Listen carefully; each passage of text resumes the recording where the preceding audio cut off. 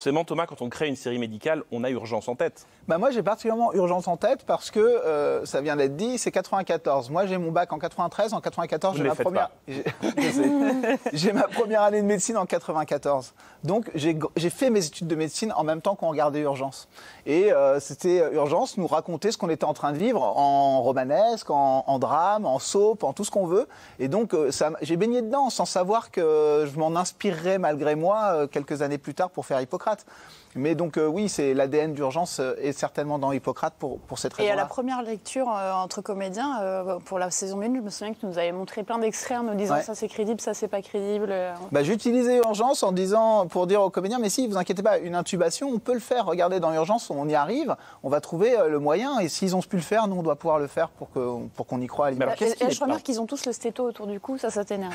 Oui, bah, parce qu'en France, euh, parce qu'en France, le type qui met un- le médecin ou, ou la médecin qui met son stéto autour du cou, bah, c'est pour ressembler à un personnage d'urgence en fait. Euh,